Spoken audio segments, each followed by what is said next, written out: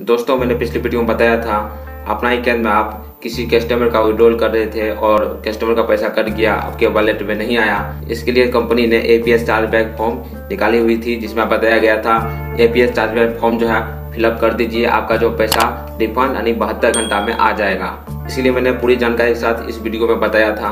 अगर आप ये वीडियो नहीं देखे हैं तो आपको वीडियो के डिस्क्रिप्शन बॉक्स में इसका लिंक मिल जाएगा, आप उसको देख सकते हैं और जो है चार्ज बैक फॉर्म आप भर सकते हैं। दोस्तों, आज हम बताने वाले हैं, अगर आप चार्ज बैक फॉर्म फिलअप कर देते हैं तो क्या आपका जो है पैसा बहत्तर घंटा में वापस आ जाती है, या नहीं आती है, या कंपनी और कुछ अपना नया तरीका अपनाती है आपके फंसाने का, या कुछ और तरीका से।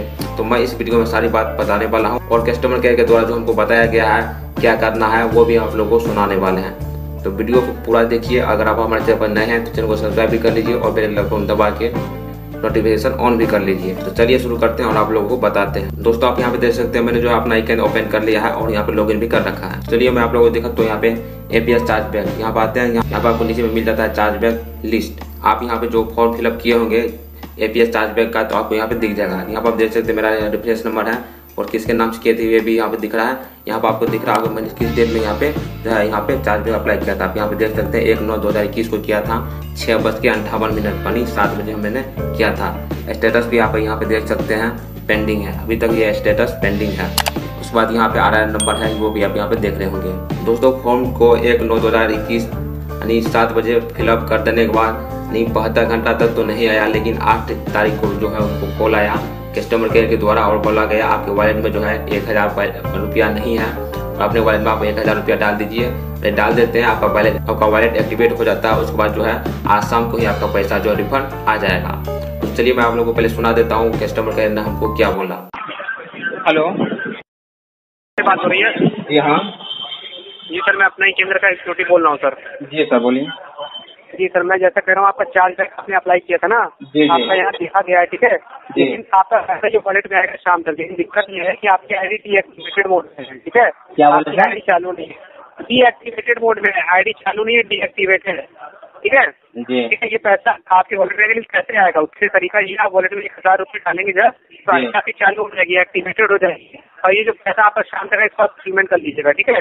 अभी मैंने आठ रिटेलरों को बताया आठ का पैसा वॉलेट में आ गया है। शाम तक उनका पैसा आ रहा है। तो आप मंथली आप टीपीएस वॉलेट में एक हज़ार रुपए डालिए ताकि आईडी यहाँ से चालू हो सके और जो पैसा आपका है वो वॉलेट में ही आएगा तभी आप आएगा सर ठीक है?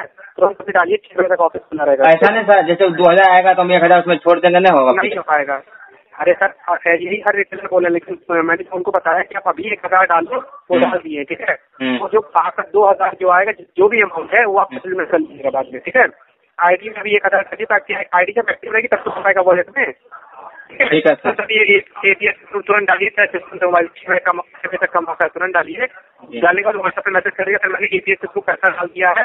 हम्म। ठीक है एक डेट आईडी भेज दीजिएगा एक हज़ार रुपए। तुरंत अभी दिया चलिए। दोस्तों, आपने यहाँ पे सुना कि कस्टमर केयर ने हमको बोला जो आपके वॉलेट में जो है एक हज़ार नहीं है, आप एक हज़ार जो विड्रॉल कर लीजिए, उसके बाद आपका जो है वॉलेट एक्टिवेट हो जाएगा और आपको शाम तक में आपका पैसा आ जाएगा। लेकिन दोस्तों, अभी तक मेरा पैसा यहाँ पे नहीं आया। आप देख सकते हैं, यहाँ पर मैं आप लोगों को दिखा भी देता हूँ, यहाँ पे उस डेट में ही मैंने यहाँ पे एक हज़ार विड्रॉल करके यहाँ पे मैंने रख दिया था। आप यहाँ पे देख सकते हैं, मैंने यहाँ पे एक हज़ार विड्रॉल किया हुआ था।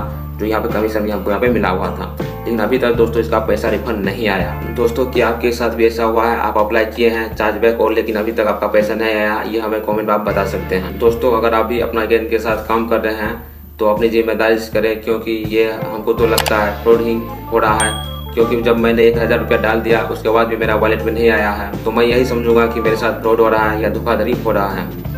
तो दोस्तों, आप भी अगर काम कर रहे हैं तो अपनी समझदारी से करें, अपनी सूझबूझ से करें। दोस्तों, मैंने पिछले वीडियो में आप लोग बताया था, अप्लाई करने के बाद बहत्तर घंटा में आ जाएगा, या नहीं आएगा, मैं आप लोगों को बताऊँगा। इसलिए मैं यहाँ पे आप लोगों को बता दिया कि मेरा जो है पैसा अभी तक नहीं आया है। अगर आप लोग आया है तो ये हमें कमेंट बता सकते हैं अभी नहीं आया तो ये भी हमें कमेंट कर सकते हैं। आज के लिए बस इतना ही, मिलते हैं नेक्स्ट वीडियो में, तब तक लिए।